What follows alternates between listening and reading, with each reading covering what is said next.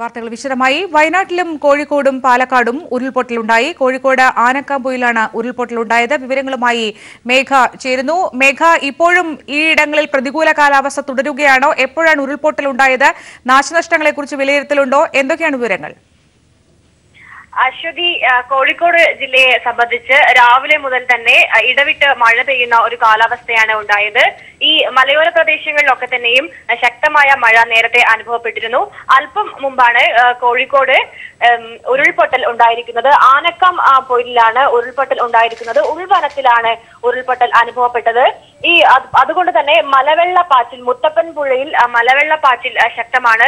ഇരുവഴഞ്ഞി പുഴയിൽ ഉൾപ്പെടെ തന്നെ ശക്തമായ മലവെള്ളപ്പാച്ചിലാണ് നിലവിൽ അനുഭവപ്പെട്ടുകൊണ്ടിരിക്കുന്നത്. മുത്തപ്പൻ പുഴയിലെ താൽക്കാലിക പാലം ഈ മലവെള്ളപ്പാച്ചിലിൽ ഒലിച്ചു പോകുന്ന ഒരു സാഹചര്യം ഉണ്ട്. ഈ ആനക്കാമ്പൊയിൽ ഉൾവനത്തിൽ ഉരുൾപൊട്ടിയതായി സംശയം കാരണം ഇത്ര ശക്തിയോടെയുള്ള വെള്ളം ഈ മുത്തപ്പൻ പുഴയിലും മറ്റും ഇരുവഴിഞ്ഞി പുഴയിലും വന്നതുകൊണ്ട് തന്നെ ആനക്കാമ്പൊയിൽ ഉൾവനത്തിൽ ഉരുൾപൊട്ടിയതാവാം എന്ന ഒരു സംശയമാണ് നാട്ടുകാർ പങ്കുവച്ചിരിക്കുന്നത്. മേഘയാണ് വിവരങ്ങൾ നൽകിയത് കോഴിക്കോട് നിന്നും. സംസ്ഥാനത്ത് കനത്ത മഴ ഓഗസ്റ്റ് പതിനഞ്ച് വരെ തുടരുമെന്ന് കാലാവസ്ഥാ നിരീക്ഷണ കേന്ദ്രം. ഇടുക്കി വയനാട് ജില്ലകളിൽ അതിശക്തമായ മഴ തുടരുമെന്നതിനാൽ ജില്ലകളിലെ റെഡ് അലർട്ട് നാളെ വരെ നിലനിൽക്കും. കാറ്റിന്റെ വേഗത മണിക്കൂറിൽ അറുപത് കിലോമീറ്ററിലേക്ക് അടുക്കുന്നതിനാൽ മത്സ്യത്തൊഴിലാളികൾ ജാഗ്രത പാലിക്കണമെന്നും കാലാവസ്ഥാ നിരീക്ഷണ കേന്ദ്രം അറിയിച്ചു. സംസ്ഥാനത്ത് നാശം വിതച്ച തീവ്രമായ മഴ ഓഗസ്റ്റ് പതിനഞ്ച് വരെ തുടരുമെന്നാണ് കാലാവസ്ഥാ നിരീക്ഷണ കേന്ദ്രത്തിന്റെ അറിയിപ്പ്. എന്നാൽ നാളെയോടുകൂടി മഴയുടെ തീവ്രതയ്ക്ക് അല്പം ശമനമുണ്ടാകുമെന്നാണ് പ്രതീക്ഷ. ഇടുക്കി വയനാട് ജില്ലകളിലാണ് അതിശക്തമായ മഴയ്ക്കുള്ള സാധ്യത. ഈ സാഹചര്യത്തിൽ രണ്ട് ജില്ലകളിലും നാളെ വരെ റെഡ് അലേർട്ട് തുടരും. ഇതിനു പുറമെ ആലപ്പുഴ എറണാകുളം പാലക്കാട് മലപ്പുറം കോഴിക്കോട് കണ്ണൂർ എന്നീ ജില്ലകളിലും കനത്ത മഴ ലഭിക്കും. മലപ്പുറം ജില്ലയിലാണ് കൂടുതൽ മഴ ഇന്ന് ലഭിച്ചത്. പതിനൊന്ന് സെന്റിമീറ്റർ. വടകര ഒൻപതും മാനന്തവാടി ഏഴും വൈത്തിരി കണ്ണൂർ പാലക്കാട് എന്നിവിടങ്ങളിൽ ഏഴ് സെന്റിമീറ്റർ വീതവും മഴ ലഭിച്ചു.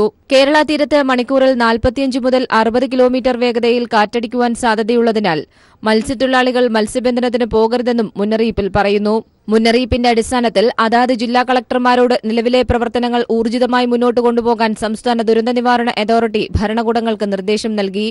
ദുരിതബാധിത പ്രദേശങ്ങളിൽ കര നാവിക വ്യോമസേനകളുടെ നേതൃത്വത്തിലുള്ള ദുരന്ത നിവാരണ പ്രവർത്തനങ്ങളും സംസ്ഥാന വ്യാപകമായി തുടരുകയാണ്. News bureau Thiruvananthapuram. കോഴിക്കോട് ജില്ലയിൽ കാലവർഷക്കെടുതിയിൽ ഇതുവരെ ഇരുന്നൂറ്റി ഇരുപത്തിയെട്ട് കോടിയുടെ നാശനഷ്ടമെന്ന് പ്രാഥമിക കണക്ക്. ജില്ലയിൽ തൊണ്ണൂറ്റിരണ്ട് വീടുകൾ പൂർണമായും തകർന്നു. രണ്ടായിരത്തി അഞ്ഞൂറ്റി എഴുപത്തിയേഴ് വീടുകൾ ഭാഗികമായി തകർന്നിട്ടുണ്ട്. റവന്യൂ മന്ത്രി ഇ ചന്ദ്രശേഖരൻ അറിയിച്ചതാണ് ഈ കാര്യങ്ങൾ. സമാനതകളില്ലാത്ത കാലവർഷക്കെടുതി നേരിടുന്നതിന് ഒറ്റക്കെട്ടായ പ്രവർത്തനമാണ് നടക്കുന്നതെന്ന് കോഴിക്കോട് ചേർന്ന അവലോകന യോഗത്തിനുശേഷം റവന്യൂ മന്ത്രി അറിയിച്ചു. കോഴിക്കോട് ജില്ലയിൽ മഴയുടെ ശക്തി കുറഞ്ഞിട്ടുണ്ട്. മഴക്കെടുതി വിലയിരുത്താൻ കോഴിക്കോടെത്തിയ റവന്യൂ മന്ത്രി ഇ ചന്ദ്രശേഖരൻ കഴിഞ്ഞ ദിവസം ഉരുൾപൊട്ടലുണ്ടായ കണ്ണപ്പൻകുണ്ട് സന്ദർശിച്ചു. ദുരിതബാധിതർ കഴിയുന്ന മൈലള്ളാമ്പാറ മണൽവയൽ സ്കൂളുകളിലെ ക്യാമ്പുകളിലെത്തിയ മന്ത്രി വിവരങ്ങൾ ചോദിച്ചറിഞ്ഞു. ജോർജൻ തോമസ് എം എൽ എ ജില്ലാ കളക്ടർ യു വി ജോസ് എന്നിവരും മന്ത്രിക്കൊപ്പമെത്തി. തുടർന്ന് കോഴിക്കോട് കളക്ടറേറ്റിൽ റവന്യൂ മന്ത്രിയുടെ അധ്യക്ഷതയിൽ ദുരിതാശ്വാസ പ്രവർത്തനങ്ങൾ വിലയിരുത്താനുള്ള യോഗം ചേർന്നു. ഇക്കഴിഞ്ഞ ദിവസങ്ങളിലുണ്ടായ ഉരുൾപൊട്ടലിലും വെള്ളപ്പൊക്കത്തിലുമായി ജില്ലയിൽ പതിനേഴ് വീടുകളാണ് പൂർണമായി തകർന്നത്. നൂറ്റി മുപ്പത്തൊന്ന് വീടുകൾക്ക് ഭാഗികമായി കേടുപാടുകൾ സംഭവിച്ചു. ജൂൺ മുതലുള്ള കണക്കനുസരിച്ച് കോഴിക്കോട് ജില്ലയിൽ ഇരുന്നൂറ്റി ഇരുപത്തെട്ട് കോടിയുടെ നാശനഷ്ടമുണ്ടായതായാണ് പ്രാഥമിക വിലയിരുത്തൽ. ഇക്കഴിഞ്ഞ ദിവസങ്ങളിലെ കണക്ക് കൂടി വരുമ്പോൾ നഷ്ടം വർദ്ധിക്കുമെന്ന് യോഗശേഷം മന്ത്രി അറിയിച്ചു. ഇരുന്നൂറ്റി ഇരുപത്തെട്ട് കോടി രൂപയുടെ നാശനഷ്ടം ഇവിടെ നടന്നിട്ടുണ്ട് എന്നതാണ് പ്രാഥമികമായൊരു കണക്ക്. അതായത് വിവിധ ഡിപ്പാർട്ട്മെന്റുകൾ ഓരോന്നും പരിശോധിച്ചു വരികയാണ്. അവരുടെ വിശദമായ റിപ്പോർട്ടുകൾ കൂടി വരുന്ന മുറക്ക് അതിന്റെ നാശനഷ്ടങ്ങളുടെ അളവിൽ അല്ലെങ്കിൽ സംഖ്യയിൽ വലിയ മാറ്റം വരാനാണ് സാധ്യത എന്നാണ് തോന്നുന്നത്. വയനാട്ടിലേത് ഏറ്റവും വലിയ ദുരന്തമാണെന്നും ദുരിതബാധിതർക്ക് പരമാവധി സഹായം സംസ്ഥാന സർക്കാർ നൽകുമെന്നും മന്ത്രി വ്യക്തമാക്കി. കോഴിക്കോട് ജില്ലയിൽ നിലവിൽ പതിനൊന്ന് ദുരിതാശ്വാസ ക്യാമ്പുകളാണ് പ്രവർത്തിക്കുന്നത്. ഇരുന്നൂറ്റി തൊണ്ണൂറ്റി മൂന്ന് കുടുംബങ്ങളിലെ ആയിരത്തി ഇരുപത്തെട്ട് പേർ ക്യാമ്പുകളിൽ കഴിയുന്നു. News bureau Kozhikode. Idukki Cheruthoni അണക്കെട്ടിൽ നിന്ന് തുറന്നുവിടുന്ന വെള്ളത്തിന്റെ അളവ് കുറച്ചേക്കും. ജലനിരപ്പ് താഴ്ന്നാൽ തുറന്നുവിടുന്ന വെള്ളത്തിന്റെ അളവ് കുറയ്ക്കാൻ നീക്കം. വിവരങ്ങളുമായി സമീർ. ജലനിരപ്പ് കാര്യമായി തന്നെ താഴ്ന്നു തുടങ്ങിയിരിക്കുന്നു. ഈ സാഹചര്യത്തിൽ വൈകാതെ തന്നെ ഷട്ടറുകളുടെ അളവ് അതായത് ഇപ്പോൾ തുറന്നുവിടുന്നത് അഞ്ച് ഷട്ടറുകൾ ഒന്നും അഞ്ചും ഷട്ടറുകൾ ഒരു മീറ്റർ വീതവും രണ്ട് മൂന്ന് നാല് ഷട്ടറുകൾ ഒരു മീറ്റർ എൺപത് സെന്റിമീറ്ററുമാണ് തുറന്നുവിട്ടിരിക്കുന്നത്. ഇതിന്റെ അളവ് കുറച്ചുകൊണ്ട് വൈകാതെ തന്നെ പുറത്തേക്ക് വിടുന്ന വെള്ളം കുറച്ചു കൊണ്ടുവരാനുള്ള ശ്രമമാണ് നടക്കുക. എന്തായാലും അതുമായി ബന്ധപ്പെട്ടുള്ള അന്തിമ തീരുമാനം കൈക്കൊണ്ടിട്ടില്ല. വൈകാതെ തന്നെ അത്തരത്തിലുള്ള തീരുമാനം ഉണ്ടാകും എന്ന് തന്നെയാണ് നമ്മൾ പ്രതീക്ഷിക്കുന്നത്. നമുക്ക് ഇപ്പോൾ കാണാം ചെറുതോണി അണക്കെട്ടിന്റെ അഞ്ച് ഷട്ടറുകളും തുറന്നതിനെ തുടർന്ന് വലിയ രീതിയിലുള്ള കുത്തൊഴുക്കാണ് വെള്ളം കുത്തൊഴുകിയാണ് വെള്ളം താഴേക്ക് പതിക്കുന്നത്. ചെറുതോണി ടൗണിന്റെ മുഴുവൻ ഭാഗങ്ങളിലും വലിയ രീതിയിൽ അത് വെള്ളം താഴ്ഭാഗങ്ങളിലെല്ലാം തന്നെ വെള്ളം കയറിയിട്ടുണ്ട്. ഇവിടെ ചെറുതോണി ടൗണിന്റെ പല ഭാഗങ്ങളും കഴിഞ്ഞ ദിവസങ്ങളായിക്കൊണ്ട് തന്നെ വ്യാഴാഴ്ച മുതൽ ഈ അടഞ്ഞു കിടക്കുന്ന ഈ കാഴ്ച അത് തന്നെയാണ് ഇപ്പോഴും തുടരുന്നത്. ഇവിടെ ആളുകളെല്ലാം തന്നെ പൂർണമായും മാറ്റിപ്പാർപ്പിക്കുകയും മറ്റു തരത്തിലുള്ള സുരക്ഷാ ക്രമീകരണങ്ങളെല്ലാം തന്നെ ഏർപ്പെടുത്തുകയും ചെയ്തിട്ടുണ്ട്. പോലീസും അതോടൊപ്പം തന്നെ ദേശീയ ദുരന്ത നിവാരണ സേനയുടെ പ്രത്യേക പരിശീലനം ലഭിച്ച സേനയും എല്ലാം തന്നെ ഇവിടെ ക്യാമ്പ് ചെയ്യുന്നു. ഇരുപത്തിനാല് മണിക്കൂറും ഇവരുടെ സേവനം ലഭ്യമാക്കിക്കൊണ്ടാണ് ഇവിടെ കാര്യങ്ങളെല്ലാം മുന്നോട്ട് പോകുന്നത്. എല്ലാ അർത്ഥത്തിലും ആശങ്ക നീങ്ങിയ സാഹചര്യം തന്നെയാണ് ഉള്ളത്. ഇനി ജലനിരപ്പ് കൂടുതൽ താഴുകയും അതിനനുസരിച്ച് തന്നെ അണക്കെട്ടിന്റെ നിയന്ത്രണം. ഇപ്പോൾ ഞാൻ നേരത്തെ സൂചിപ്പിച്ചതുപോലെ തന്നെ അണക്കെട്ടുകൾ അതിന്റെ ഇപ്പോൾ തുറന്നു വിട്ടതിനേക്കാൾ താഴ്ത്തിക്കൊണ്ട് വളരെ കുറഞ്ഞ അളവിലേക്ക് വെള്ളം തുറന്നുവിടാനുള്ള ഒരു സാഹചര്യം ആണ് നിലനിൽക്കുന്നത്. അത്തരം തീരുമാനങ്ങളിലേക്ക് വൈകാതെ തന്നെ പോകും എന്നാണ് പ്രതീക്ഷിക്കുന്നത്. എന്തായാലും ഒരു തരത്തിലും ഉള്ള ആശങ്കയില്ല. സംസ്ഥാന സർക്കാരും സംസ്ഥാന ദുരന്ത നിവാരണ അതോറിറ്റിയും ഒപ്പം ജില്ലാ ഭരണകൂടവും ഒക്കെ സ്വീകരിച്ച നടപടിക്രമങ്ങളുടെ ഭാഗമായി ഒരു തരത്തിലുമുള്ള അപകടമോ മറ്റു തരത്തിലുള്ള അത്യാഹിതങ്ങളോ ഒന്നും തന്നെ ഉണ്ടാവാതെ എല്ലാം ശുഭകരമായി തന്നെയാണ് മുന്നോട്ട് പോകുന്നത്. വളരെ ആശ്വാസകരമായ കാര്യം തന്നെയാണ് ഉള്ളത്. ഇനി നീരൊഴുക്കും മഴയും കുറയുന്ന പക്ഷം അണക്കെട്ടിന്റെ ഷട്ടറുകൾ വൈകാതെ തന്നെ അടച്ചു തുടങ്ങും എന്നുള്ള ഒരു പ്രതീക്ഷ തന്നെയാണ് നമുക്ക് പങ്കുവെക്കാനുള്ളത്. വയനാട് മഴയ്ക്ക് ശമനമില്ല നാശനഷ്ടങ്ങൾ തുടരുന്നു. ഇന്നും ഉരുൾപൊട്ടലുണ്ടായി. ബാണാസുര സാഗർ അണക്കെട്ടിൽ നിന്ന് കൂടുതൽ ജലം തുറന്നുവിട്ടു. ജനങ്ങൾ ആശങ്കപ്പെടേണ്ടതില്ലെന്ന് ജില്ലാ ഭരണകൂടം. അനൂപ് തയ്യാറാക്കിയ റിപ്പോർട്ടിലേക്ക്. ഇടയ്ക്കിടെയുള്ള ശക്തമായ മഴ വയനാട്ടിൽ പല പ്രദേശങ്ങളിലും ഇപ്പോഴും തുടരുകയാണ്. ഇതിനിടെ ബാണാസുര സാഗർ ഡാമിന്റെ ഡാം ഡാമിന്റെ ഷട്ടറുകൾ അല്പം കൂടി ഉയർത്തിയിട്ടുണ്ട്. ഇരുപത് സെന്റിമീറ്റർ കൂടി ഉയർത്തി. നേരത്തെ ഇത് തൊണ്ണൂറ് സെന്റിമീറ്റർ ആയിരുന്നു. ഇതേ തുടർന്ന് താഴ്വാരങ്ങളിലുള്ള പ്രദേശങ്ങളിലെ ജനങ്ങൾക്ക് ജില്ലാ ഭരണകൂടം ജാഗ്രതാ മുന്നറിയിപ്പ് നൽകിയിട്ടുണ്ട്. ഇവിടെ നിന്ന് പുറത്തുവിടുന്ന ജലം നേരെ കടമാൻ തോട് വഴി പനമരം ഭാഗത്തേക്കാണ് പോകുക. അതുകൊണ്ട് തന്നെ പനമരം ഭാഗത്ത് ഉള്ള മേഖലകളിൽ നിന്ന് ആളുകളെ മാറ്റി പാർപ്പിച്ചിട്ടുണ്ട് അതോടൊപ്പം തന്നെയാണ് വലിയ മഴയിൽ ഇന്നലെ രാത്രിയും ഉരുൾപൊട്ടലുണ്ടായി. അതായത് വൈത്തിരി താലൂക്കിലെ കുറിച്ചിയാർ മലയിലാണ് ഉരുൾപൊട്ടലുണ്ടായത്. രണ്ട് തവണ ഇവിടെ ഉരുൾപൊട്ടലുണ്ടായി. നേരത്തെ ഉരുൾപൊട്ടൽ ഉണ്ടായിരുന്ന സ്ഥലവും ഉരുൾപൊട്ടൽ ഭീഷണി നിലനിൽക്കുന്ന സ്ഥലവുമാണിത്. ഇവിടെ ഉള്ള പ്രദേശങ്ങളിൽ നിന്നുള്ള തൊഴിലാളികളടക്കം ഇതൊരു തേയില എസ്റ്റേറ്റ് ആണ്. ഇവിടെ നിന്നുള്ള തൊഴിലാളികളടക്കം നിരവധി പേരെ ഇവിടെ നിന്ന് മാറ്റി പാർപ്പിച്ചിട്ടുണ്ട് വയനാട്ടിൽ ഇപ്പോഴും നൂറ്റി മുപ്പതോളം ക്യാമ്പുകൾ തുടരുകയാണ് ദുരിതാശ്വാസ ക്യാമ്പുകൾ തുടരുകയാണ്. അതോടൊപ്പം തന്നെ പതിമൂവായിരത്തോളം പേർ വിവിധ ദുരിതാശ്വാസ ക്യാമ്പുകളിൽ കഴിയുന്നുണ്ട്. മഴയ്ക്ക് ഇടയ്ക്കിടെ മഴയ്ക്ക് കുറവുണ്ടെങ്കിലും ശക്തമായ മഴ പല പ്രദേശങ്ങളിലും തുടരുന്നതിനാൽ ഉരുൾപൊട്ട ഭീഷണിയും വെള്ളപ്പൊക്ക ഭീഷണിയും ഇപ്പോഴും വയനാട്ടിൽ നിലനിൽക്കുകയാണ്. ഇതിനിടെ ആ, ജില്ലാ ഭരണകൂടത്തിന്റെ നേതൃത്വത്തിൽ നടക്കുന്ന ദുരന്ത നിവാരണ പ്രവർത്തനങ്ങളും ദുരിതാശ്വാസ പ്രവർത്തനങ്ങളും ഇപ്പോഴും വളരെ സജീവമായി തന്നെ ജില്ലയിൽ തുടരുകയുമാണ്. ദുരിതാശ്വാസ ക്യാമ്പുകളിൽ നിന്ന് തിരികെ എത്തുന്നവരുടെ സങ്കട പെരുമഴയിലാണ് വയനാട് ഇന്ന്. ഉറങ്ങിക്കിടക്കുമ്പോഴാണ് മലവെള്ളം വീടുകളിലേക്ക് ഇരച്ചെത്തിയത്. വെള്ളം മൂടിയ വീടുകളിലെല്ലാം നശിച്ചിരിക്കുന്നു. ജീവിതം എവിടെ നിന്ന് വീണ്ടും ആരംഭിക്കണം എന്നറിയാതെ പകച്ചു നിൽക്കുകയാണ് പലരും. ഉണർന്നു പ്രവർത്തിക്കുന്ന ഔദ്യോഗിക സംവിധാനങ്ങളിലാണ് വയനാടിന്റെ പ്രതീക്ഷ.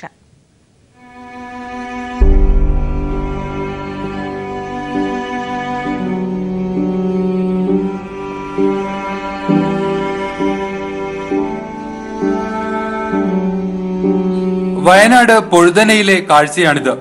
വെള്ളപ്പൊക്കം ബാധിച്ച പ്രദേശങ്ങളുടെ പൊതുചിത്രം. ബുധനാഴ്ച തുടങ്ങിയ ദുരിതപ്പെയ്ത്ത്. രണ്ടു രാത്രികൾ കഴിയുമ്പോഴേക്കും എല്ലാം വെള്ളത്തിനടിയിൽ. ജീവിതത്തിലേക്ക് നീന്തിക്കയറിയ ഇവർ ദുരിതാശ്വാസ ക്യാമ്പുകളിൽ നിന്ന് സ്വന്തം വീടുകളിലേക്ക് പകൽ സമയങ്ങളിൽ ഹൃദയം തകർന്ന് കയറി ചെല്ലുകയാണിപ്പോൾ. ഇതാദ്യം അവസാനം എന്ത് ചെയ്യണം എന്നില്ല ഒരു പിടുത്തമില്ല ആ കണ്ടീഷനിൽ ഞാൻ അങ്ങനെ നിൽക്കുകയാണ്. അവശേഷിച്ചവ തിരയുന്നു. നശിച്ചവയോർത്ത് വിലപിക്കുന്നു. സർട്ടിഫിക്കറ്റുകളും റേഷൻ കാർഡും വീട്ടുപകരണങ്ങളുമെല്ലാം ഇല്ലാതായി. നനഞ്ഞു കുതിർന്നും തകർന്നും വീടുകൾ ശേഷിക്കുന്നു.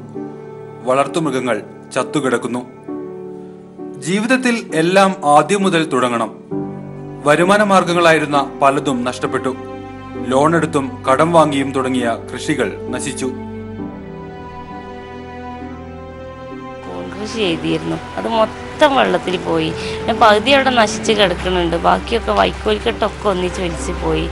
അങ്ങനെ സകല സാധനവും നശിച്ചു. വീട്ടിൽ ഇനി ഞങ്ങളെ ജീവൻ ഇങ്ങനെ ദുരിതാശ്വാസ ക്യാമ്പുകൾ സജീവമാണ്. ഒന്നിനും കുറവില്ല. സർക്കാർ സംവിധാനങ്ങൾ ഒപ്പമുണ്ട്. ഇവിടുത്തെ ജീവിതം തരക്കിടുന്നില്ല ജീവിതത്തിനൊന്നും ഒരു കുഴപ്പമൊന്നുമില്ല. ഇവരൊക്കെ ഇപ്പൊ സുഖമായിട്ട് ഞങ്ങൾ പോകുന്നുണ്ട്. അതിജീവിക്കാതെ വയ്യ. ഇതുവരെയും കാണാത്ത മഹാദുരിതത്തിൽ നിന്ന് മെല്ലെ ആത്മവിശ്വാസം മാത്രം കരുത്താക്കി ഇവരെല്ലാം ജീവിതത്തിലേക്ക് തിരിച്ചു വരികയാണ്. മുഖ്യമന്ത്രി പറഞ്ഞ ആ വാക്കുകളിലാണ് ബലം. നഷ്ടപ്പെട്ടവയിൽ സാധ്യമായതെല്ലാം വീണ്ടുമുണ്ടാക്കാം. ജീവനാണ് വലുത്. വയനാട്ടിൽ നിന്നും പ്രളയബാധിതരെ സഹായിക്കാനായി മുഖ്യമന്ത്രിയുടെ ദുരിതാശ്വാസ നിധിയിലേക്ക് ധനസഹായം ഒഴുകുന്നു. സിനിമാ താരങ്ങളും വ്യവസായികളും വിവിധ സന്നദ്ധ സംഘടനകളും മന്ത്രിമാരുമടക്കം വൻ തുകകൾ കൈമാറിക്കഴിഞ്ഞു നടൻ മമ്മൂട്ടിയും മോഹൻലാലും ദുൽഖർ സൽമാനും താരസംഘടന അമ്മയും ദുരിതാശ്വാസ നിധിയിലേക്കുള്ള തുക കൈമാറി. കേരളം കണ്ടതിൽ ഏറ്റവും വലിയ ദുരന്തം നേരിടുന്ന സാഹചര്യത്തിൽ ദുരന്ത നിവാരണ പ്രവർത്തനങ്ങൾക്ക് വേണ്ട സാമ്പത്തിക സഹായത്തിനായി കൈകോർക്കാൻ എല്ലാ വിഭാഗം ജനങ്ങളോടും മുഖ്യമന്ത്രി പിണറായി വിജയൻ അഭ്യർത്ഥിച്ചിരുന്നു. മുഖ്യമന്ത്രിയുടെ ദുരിതാശ്വാസ ഫണ്ടിലേക്ക് വലിയ ധനസഹായമാണ് ഇപ്പോൾ ഒഴുകിയെത്തുന്നത്. സിനിമാ താരങ്ങളും സാമൂഹിക സാംസ്കാരിക രാഷ്ട്രീയ മേഖലകളിലുള്ളവരും വൻതുക നൽകി കഴിഞ്ഞു. നടൻ മമ്മൂട്ടിയും ദുൽഖർ സൽമാനും ഇരുപത്തിയഞ്ച് ലക്ഷം രൂപ സംഭാവന നൽകി. എറണാകുളം ജില്ലാ കളക്ടർ മുഹമ്മദ് വൈ സഫറുള്ളയ്ക്കാണ് മമ്മൂട്ടി തുക കൈമാറിയത്. പറവൂർ പുത്തൻവേലിക്കരയിലെ ക്യാമ്പ് കഴിഞ്ഞ ദിവസം അദ്ദേഹം സന്ദർശിച്ചിരുന്നു. ക്യാമ്പിലെ സ്ഥിതിഗതികൾ നേരിട്ട് മനസ്സിലാക്കി ആശ്വാസവാക്കുകൾ നൽകിയാണ് അദ്ദേഹം മടങ്ങിയത്. ദുരിതാശ്വാസ ക്യാമ്പ് സന്ദർശിച്ചപ്പോഴുണ്ടായ അനുഭവങ്ങൾ മമ്മൂട്ടി ജില്ലാ കളക്ടറുമായി പങ്കുവെക്കുകയും ചെയ്തു. നടൻ മോഹൻലാലും ഇരുപത്തിയഞ്ച് ലക്ഷം രൂപ ദുരിതാശ്വാസ നിധിയിലേക്ക് കൈമാറിയിരുന്നു. താരസംഘടന അമ്മയെ പ്രതിനിധീകരിച്ച് നടൻ മുകേഷും ജഗദീഷും പത്ത് ലക്ഷം രൂപ മുഖ്യമന്ത്രിക്ക് കൈമാറി. ആദ്യഘട്ട സഹായമാണിതെന്നും പിന്നീടും സഹായം നൽകുമെന്ന് ജഗദീഷ് അറിയിക്കുകയും ചെയ്തിട്ടുണ്ട്. പൃഥ്വിരാജ് വിനായകൻ ജയറാം നിവിൻ പോളി ശോഭന അജു വർഗീസ് ആശ ശരത് അമല പോൾ ഉൾപ്പെടെ നിരവധി സിനിമാ താരങ്ങൾ സോഷ്യൽ മീഡിയയിലൂടെ ദുരിതാശ്വാസ ഫണ്ടിലേക്ക് സഹായം അഭ്യർത്ഥിക്കുകയും ചെയ്തിട്ടുണ്ട്. തമിഴ് സിനിമാ ലോകത്തു നിന്നും നടികർ സംഘവും ഉലകനായകൻ കമൽഹാസൻ സൂര്യ കാർത്തി തുടങ്ങിയവരും ഇരുപത്തിയഞ്ച് ലക്ഷം രൂപ വീതം നൽകി. തമിഴ്നാട് കർണാടക സർക്കാരുകളും ധനസഹായം നൽകിയിട്ടുണ്ട്. തമിഴ്നാട്ടിലെ പ്രതിപക്ഷ പാർട്ടിയായ ഡി ഒരു കോടി രൂപ നൽകുമെന്ന് അറിയിച്ചു കഴിഞ്ഞു.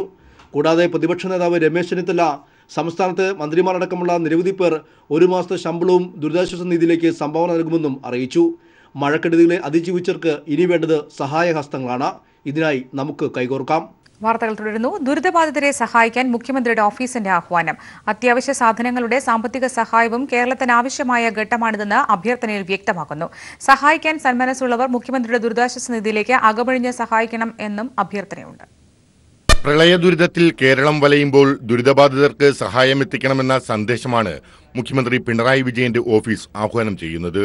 ദുരിതം അനുഭവിക്കുന്നവർക്ക് ഈ സന്ദർഭത്തിൽ എന്താണ് ആവശ്യമെന്ന് കൃത്യമായി മനസ്സിലാക്കി സാധനങ്ങൾ സമാഹരിക്കുന്ന യജ്ഞത്തിലാണ് സർക്കാർ. ദുരിതാശ്വാസ കേന്ദ്രങ്ങളിൽ താമസിക്കുന്നവർ തിരികെ വീട്ടിലേക്ക് മടങ്ങുമ്പോൾ ആവശ്യമായ അത്യാവശ്യ സാധനങ്ങളാണ് ഇപ്പോൾ പ്രധാനം പാത്രങ്ങൾ ഫർണിച്ചർ ഉൾപ്പെടെയുള്ള സാധനങ്ങൾ നൽകാൻ തയ്യാറുള്ളവർ അതാത് ജില്ലാ കളക്ടർമാരെ വിവരമറിയിക്കണം. ജില്ലാ കളക്ടറേറ്റിൽ സജ്ജീകരിച്ചിരിക്കുന്ന പത്ത് എഴുപത്തിയേഴ് എന്ന ടോൾ ഫ്രീ നമ്പറിലും ബന്ധപ്പെടാം. ഏത് ജില്ലയിലേക്കാണോ സഹായം എത്തിക്കാൻ ആഗ്രഹിക്കുന്നത് ആ ജില്ലയുടെ ടെലിഫോൺ കോഡ് ഉപയോഗിച്ച ശേഷം പത്ത് എഴുപത്തിയേഴ് എന്ന നമ്പരുമായി ബന്ധപ്പെടാം. വീടുകളും റോഡുകളും പുനർനിർമ്മിക്കാനും കൃഷി നഷ്ടമായവരെ സഹായിക്കാനും സാമ്പത്തിക പിന്തുണയാണ് ഈ ഘട്ടത്തിൽ കേരളം ആവശ്യപ്പെടുന്നത്. അതിനാൽ ദുരിതബാധിതരെ സഹായിക്കാൻ സന്നദ്ധതയുള്ള എല്ലാവരും മുഖ്യമന്ത്രിയുടെ ദുരിതാശ്വാസ നിധിയിലേക്ക് ഉദാരമായി സംഭാവന നൽകണമെന്ന് മുഖ്യമന്ത്രിയുടെ ഓഫീസ് അഭ്യർത്ഥിക്കുന്നു. ഇതാദ്യമായാണ് മുഖ്യമന്ത്രിയുടെ ഓഫീസ് നേരിട്ട് ഇത്തരമൊരു അഭ്യർത്ഥന നടത്തുന്നത്. News bureau Thiruvananthapuram. E P ജയരാജന്റെ മന്ത്രിസഭാ പ്രവേശനത്തിന് എൽ ഡി എഫിന്റെ അംഗീകാരം. ഇ പി ജയരാജൻ നാളെ പത്ത് മണിക്ക് സത്യപ്രതിജ്ഞ ചെയ്യും. സി പി ഐക്ക് ക്യാബിനറ്റ് പദവിയോടെ ചീഫ് വിപ്പ് സ്ഥാനം നൽകാനും ധാരണയായി. ഇന്ന് ചേർന്ന എൽ ഡി എഫ് യോഗമാണ് ഇ പി ജയരാജനെ മന്ത്രിയാക്കാനുള്ള സി പി എമ്മിന്റെ നിർദ്ദേശത്തിന് അംഗീകാരം നൽകിയത്. നാളെ രാവിലെ പത്തു മണിക്ക് രാജ്ഭവനിലാണ് സത്യപ്രതിജ്ഞാ ചടങ്ങ്. വ്യവസായം യുവജനക്ഷേമം കായിക വകുപ്പുകളാണ് ഇ പി ജയരാജൻ കൈകാര്യം ചെയ്യുക. L D F convener A Vijayaraghavan നേരത്തെ മുനിസിപ്പലിന്റായിരുന്ന ജയരാജനെ കൂടി ഉൾക്കൊള്ളിച്ചുകൊണ്ട് മന്ത്രിസഭ വിപുലീകരിക്കുക എന്നുള്ള നിർദ്ദേശമാണ് സി പി എമ്മിന്റെ ഭാഗത്തു നിന്നും ഉണ്ടായിട്ടുള്ളത്. ആ നിർദ്ദേശം ഏകകണ്ഠമായി തന്നെ ഇടതുപക്ഷ ജനാധിപത്യ മുന്നണി അംഗീകരിച്ചിരിക്കുകയാണ്. എല്ലാവരും പൊതുവെ അതിനെ സ്വാഗതം ചെയ്യുകയാണ് ഉണ്ടായിട്ടുള്ളത്. സി പി ഐയുടെ ചീഫ് വിപ്പ് സ്ഥാനം ആർക്ക് നൽകണം എന്നത് സംബന്ധിച്ച് ഈ മാസം ഇരുപതിന് ചേരുന്ന നിർവാഹക സമിതി യോഗത്തിൽ തീരുമാനമെടുക്കുമെന്ന് പന്നിൻ രവീന്ദ്രൻ വ്യക്തമാക്കി. അത് സി പി ഐക്കാണ്. അത് ഇരുപതാം തീയതി സി പി ഐയുടെ കമ്മിറ്റി തീരുമാനിക്കും. News bureau Thiruvananthapuram. വാർത്തകൾ തുടരുന്നു. ജെ എൻ യു വിദ്യാർത്ഥി നേതാവ് ഉമർ ഖാലിദിന് നേരെ വധശ്രമം. ദില്ലിയിലെ കോൺസ്റ്റിറ്റ്യൂഷൻ ക്ലബിന് പുറത്തുവച്ച അജ്ഞാതർ തൊട്ടടുത്തു നിന്നും വെടിയുതിർത്തുകയായിരുന്നു. യുണൈറ്റഡ് എഗെയിൻസ്റ്റ് ഹെയ്റ്റ് സംഘടിപ്പിച്ച പരിപാടിയിൽ പങ്കെടുക്കാൻ എത്തിയപ്പോഴാണ് വധശ്രമം ഉണ്ടായത്. യുണൈറ്റഡ് അഗേൻസ്റ്റ് ഹേറ്റ് സംഘടിപ്പിച്ച പരിപാടിയിൽ പങ്കെടുക്കാനെത്തിയപ്പോഴാണ് ഉമ്മർ ഖാലിദിന് നേരെ വധശ്രമമുണ്ടായത് കോൺസ്റ്റിറ്റ്യൂഷൻ ക്ലബിന് പുറത്ത് ടീ സ്റ്റാളിൽ ചായ കുടിക്കുന്നതിനിടെ വെള്ള ഷർട്ടണിഞ്ഞ ഒരാൾ ഉമ്മർ ഖാലിദിനെ ആക്രമിക്കുകയായിരുന്നുവെന്ന് ദൃക്സാക്ഷികൾ പറഞ്ഞു. ഉമ്മർ ഖാലിദിനെ തള്ളിയ ശേഷം ആക്രമി വെടിനിർക്കുകയായിരുന്നു തുടർന്ന് ബാലൻസ് നഷ്ടപ്പെട്ട ഉമ്മർ ഖാലിദ് നിലത്ത് വീണതുകൊണ്ട് അത്ഭുതകരമായി രക്ഷപ്പെട്ടു. ഉമ്മർ ഖാലിദിന് പരിക്കുകളൊന്നും പറ്റിയിട്ടില്ല. ഇന്ന് ഉച്ചയ്ക്ക് രണ്ടേ നാൽപ്പത്തഞ്ചിനാണ് സംഭവം ഉണ്ടായത് ഉമ്മർ ഖാലിദിന്റെ കൂടെ ഉണ്ടായിരുന്നവർ ഇയാളെ പിടികൂടാൻ ശ്രമിക്കുന്നതിനിടെ തോക്കുപേക്ഷിച്ച് ആക്രമി രക്ഷപ്പെടുകയായിരുന്നു. രാജ്യവിരുദ്ധ മുദ്രാവാക്യം വിളിച്ചുവെന്നാരോപിച്ച് ഉമ്മർ ഖാലിദിനെതിരെ മോദി സർക്കാർ കേസെടുക്കുകയും ജെ എൻ യുവിൽ നിന്ന് സസ്പെൻഡ് ചെയ്യുകയും ചെയ്തിരുന്നു. അക്രമത്തിന്റെ പശ്ചാത്തലത്തിൽ പോലീസ് അന്വേഷണം ആരംഭിച്ചിട്ടുണ്ട്. സ്വാതന്ത്ര്യദിനാഘോഷത്തിന് മണിക്കൂറുകൾ മാത്രമുള്ളപ്പോഴാണ് രാജ്യ തലസ്ഥാനത്ത് ഇങ്ങനൊരു ആക്രമണം ഉണ്ടായിരിക്കുന്നത്. കേന്ദ്ര സർക്കാരിന്റെ സുരക്ഷാ വീഴ്ചയാണിതെന്ന ആരോപണം ശക്തമായിരിക്കുന്നു. News bureau Delhi. സംസ്ഥാന ചലച്ചിത്ര പുരസ്കാര ജേതാവ് ഇന്ദ്രൻസിന് കൈരളി ടിവിയും ജന്മനാടും ചേർന്നൊരുക്കുന്ന സ്വീകരണം അല്പസമയത്തിനകം.